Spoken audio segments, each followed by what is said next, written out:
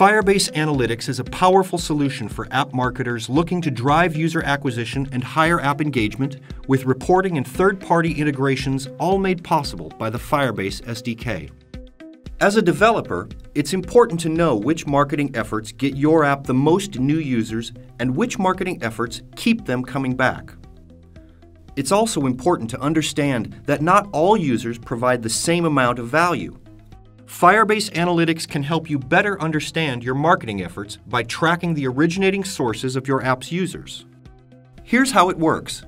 Many ad networks can send click information to Google each time a user clicks on an ad.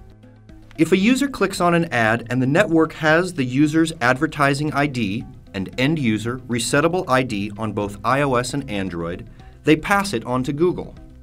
This allows Firebase Analytics to tell if the users that click go on to install and open the app. When this happens, it's called a first open event. A first open event is when they actually use the app for the first time. Note that a first open event is different from a download. A download occurs when a user downloads the app onto his or her device. To see raw download numbers, look in the Google Play console or in iTunes Connect. Firebase Analytics keeps track of your Google sources automatically.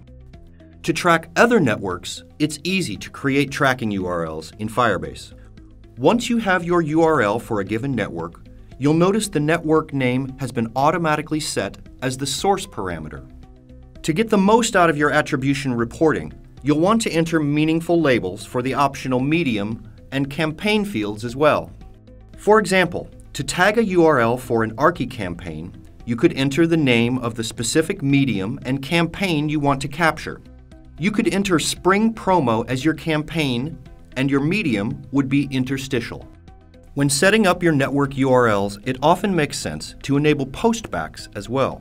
Once enabled, postbacks allow you to share your conversion data with your selected ad networks. Most networks use your conversion data to optimize your campaigns, but typically require a network-specific SDK to do it. With postbacks, the Firebase SDK is the only SDK you need.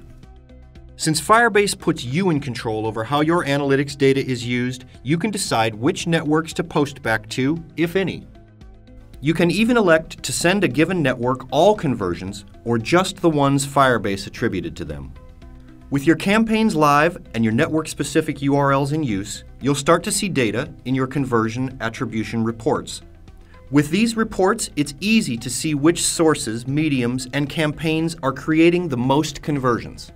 Going even further, if your app monetizes with either real-world or in-app purchases, you'll be able to see which marketing efforts create users with the greatest lifetime value, or LTV. To learn more about attribution features, visit the Help Center and developer documentation.